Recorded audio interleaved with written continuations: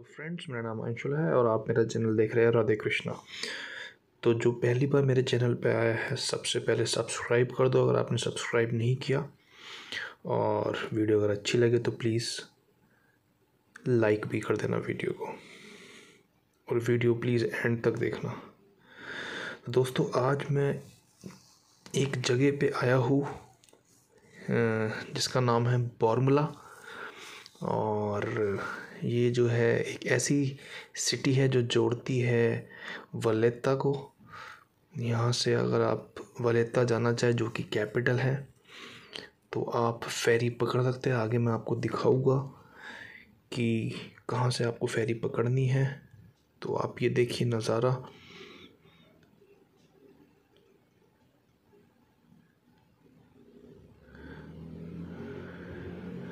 सामने ही आपको मैं दिखा हुआ एक यूनिवर्सिटी है अमेरिकन यूनिवर्सिटी ऑफ़ माल्टा तो वो भी आपको मैं दिखा हुआ।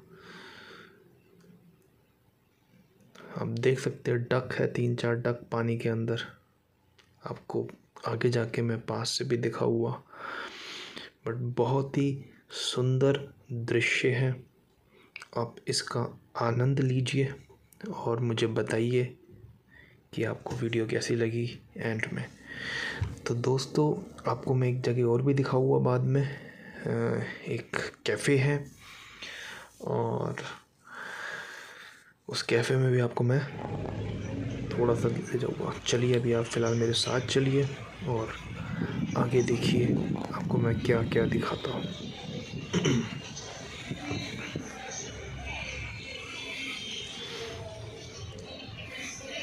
देखिए राइट साइड में जो आप देख रहे हैं, इस तरफ़ जो है जब्बार आ जाएगा। सबसे पहली जो सिटी थी जहाँ पर मैं रहा जब मैं माल्टा में आया था तो वो जब्बार था। और यही जो आप देख रहे हो, यहीं से ही आपको फेरी मिल जाएगी थोड़ी आगे जाकर। ये देखिए आप, ये तीन बत्तके है, पता नहीं क्या है डक कहते हैं शायद हाँ डक बदतगी की बात है शायद। तो बड़ी ही प्यारी है। और लोग बाग कुछ आए हैं यहाँ पर, पानी के किनारे बैठे हैं और इन्जॉय कर रहे हैं। अभी इतनी ठंड नहीं रही। उम्मीद है कि आने वाले एक महीने में जो है समर आ जाएगी। और टूरिस्ट आना स्टार्ट हो जाएँगे और हॉस्पिटैलिटी सेक्टर जो है वो बूम होगा बहुत जल्द। जो मेरा दिल कह रहा है। जो आप ये देख सकते हैं लेफ़्ट साइड में जो ये बिल्डिंग है, ये university of American university of Malta है। अगर आपको कोई कोर्स परस्यू करना है तो यहाँ पर आप अप्लाई कर सकते हैं। ये सीट है, यहाँ पे बैठते हैं लोग बाग। आप देख सकते हैं सामने ये पुल है, ये कनेक्ट करता है बॉर्मला और जब्बार को।